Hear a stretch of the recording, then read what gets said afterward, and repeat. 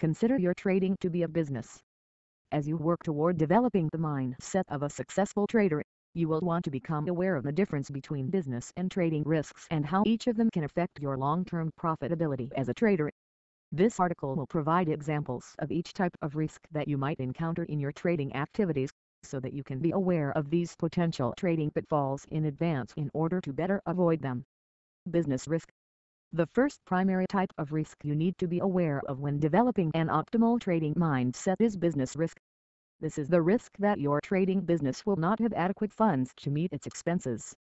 Business risk is often ignored by novice traders who are sometimes more focused on making picks than on the bigger picture of what it takes to stay in business as a trader over the long term. For traders, business risk commonly arises from financial risk which is linked to the size and stability of any outstanding debt you might be servicing in order to remain in business as a trader. Business risk can also derive from economic risk, which is based on how the overall economic and regulatory climate affects your trading business. Examples of specific business risks that traders sometimes face that fall into in each of these two basic categories appear below. 8. Financial risks Business risks to your trading enterprise might include the following financial risks. 1. You'll lose more money trading than you can afford to which then forces you to stop trading. 2. Having an unhappy boss, spouse or business partner who withdraws their support due to trading taking up too much of your time and attention without providing good financial results. 3. Insufficient trading returns resulting in the withdrawal of funding from an investor in your trading business for margin calls due to adverse market moves that exceed your ability to pay them. 5. Interest charges on your trading loans that exceed what you can comfortably continue to service. B. Economic risks. Business risk can also cover the following economic risks. 1. The market becomes unavailable due to new regulation that excludes you. 2. Market sizes, spreads or commissions become too unattractive for you to continue to participate in trading economically. 3. Failure to procure the items that you need to be successful and competitive as a trader due to lack of funds, knowledge or experience. These essential items might include trading execution, charting and risk management systems, access to newswires, trading and money management education, etc. For changes in the tax code that are unfavorable to your trading business.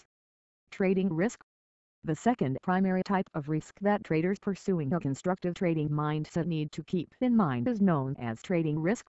This can be considered the risk of incurring a substantial trading loss or even perhaps a prolonged failure to grow your trading portfolio's value. Like business risk, trading risk can also be broken down into two secondary categories. In the case of trading risk, these risks are either market-related risks or are risks not strictly related to market conditions. 8. Market-related risks. Any market-related risk that affects all traders and which is tied to the overall economic system and market conditions is included in this category. Trading risks of this type that involve market risk might include 1. Incorrect market view resulting in a trading position being stopped out at a loss. 2. Loss of liquidity resulting in the widening of dealing spreads and the resulting ineffectiveness of many short-term trading strategies. 3. Excessive market volatility causing the execution of stop-loss orders with or without order level slippage even though the trade would have otherwise been profitable. B. Risks unrelated to market conditions. This category includes any risk that is not market related, including especially those risks arising from trader or trade plan errors. Trading risks of this second type are not strictly related to market movements and can include the following 1. Multiple consecutive losing transactions resulting in too high a portfolio value drawdown for the trader to stomach. 2. Overtrading and losing money due to spreads slash commissions. 3. Loss of discipline in following trade plan resulting in excessive losses. 4. Analysis paralysis. This is a lack of decisiveness or fear of losing money that results in a failure to pull the trigger on a trade and the consequent opportunity loss incurred. 5. Lack of diversification in your currency trading portfolio and strategies which increases susceptibility to shocks. 6. Failure to leave a protective stop loss or take profit order. 7. Failure to execute a necessary transaction. 8. Incorrectly executing or recording a transaction. 9. Forgetting that a transaction was executed. 10. Inappropriate position sizing resulting in too much or too little risk taken. 11. Faulty risk slash reward analysis including regularly executing transactions with a low-risk flash reward ratio. 12. Excessive greed resulting in failure to take profits appropriately. Sometimes, such initially profitable trades are even closed out at a loss. Managing business and trading risks successfully. While many traders routinely analyze each position they take for its risk-flash-reward ratio, far fewer traders take the time to perform a detailed risk-flash-reward analysis of their trading business. As a result, they may unwittingly enter into a business situation with a poor chance of long-term success. The mindset of the successful trader will need to be aware of all of the potential risks to their trading business. They will also need to manage those risks efficiently and economically to ensure their trading business's long-term survival and profitability.